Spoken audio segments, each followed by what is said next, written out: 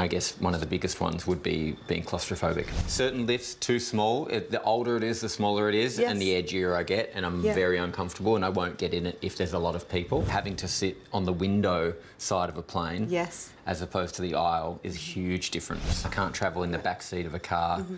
The thing about phobias is that when you're asked about the one that makes the hairs on your neck stand up, it opens up a whole world of fears that you never really thought about. And if I get into a vehicle and there's no opening window, Yeah. it's the end. Okay. From anxieties and phobias to obsessive compulsive disorders, clinical psychologist Corrie Ackland has seen the lot. The common ones that we see generally would be our animal phobias uh, spiders, snakes, some insects, dogs. Uh, then we've got the situational phobias. Typically, in that, we would see a fear of heights, claustrophobia, fear of flying. Public speaking is a common one as well. And then we've got the medical phobias. So, needle phobias would probably be the most common.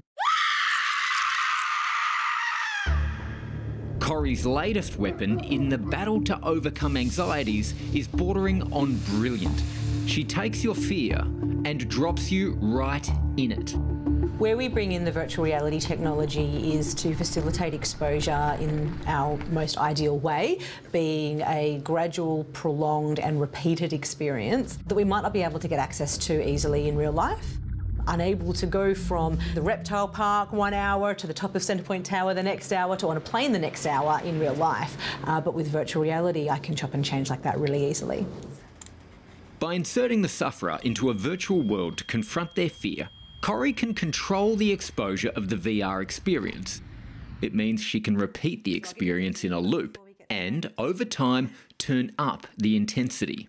So some of the experiences we have in here that uh, we use most commonly for claustrophobia are lifts, uh, Ferris wheels, and we've got some fire escapes. Oh, okay. Any of those that you'd be interested in having a look at? I feel like the fire escape is pretty, just it triggered something. Yeah, okay. yeah. Yeah. that idea that maybe the door will close and not open again. Yeah, Yeah. definitely.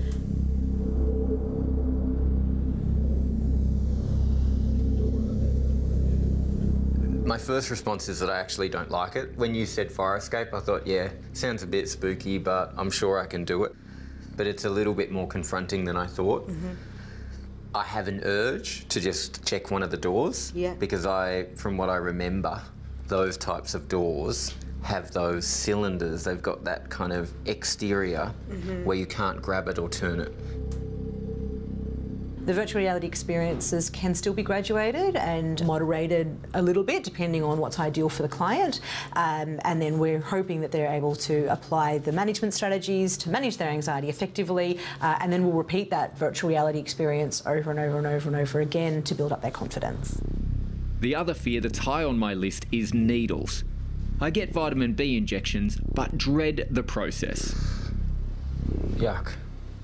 So I can see that you've just held your breath, you're bracing. Mm. And I just need you to be able to breathe that through and let go of some of that tension, particularly the tension you're holding through your core. The needle's huge. The classic physiological symptoms that we would expect to see uh, in, in a phobia is the racing heart rate, uh, difficulty breathing, uh, tightness in the chest, uh, some shaking and, and sweating, um, sometimes culminating in a full blown panic attack. Then, when it does come to some of those medical phobias, the blood injury injection type phobias, the client may faint.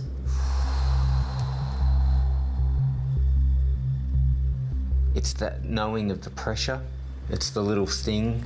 Again, the kinds of thoughts that you're having, it makes sense why you're struggling a little bit with this experience. I wonder if there's any other way we can think about this to try to get better control over how you're feeling. Can you think of any of the benefits of getting this injection? Very good. Increased energy, mm-hmm. better brain function, mm-hmm. mood. Mm-hmm. I love a B12 shot. Virtual reality allows us to do 20 back-to-back injections, Back-to-back injections. um, and allow you to really settle in. And we're trying to get bored here, right? But how long would you recommend someone sit with this until they're comfortable? We could be sitting in here for about 20 minutes. Okay. But again, we're, we're looking for the inhibitory learning. We're looking for that person to actually feel different about the situation and hopefully as well getting bored to really drum that point home.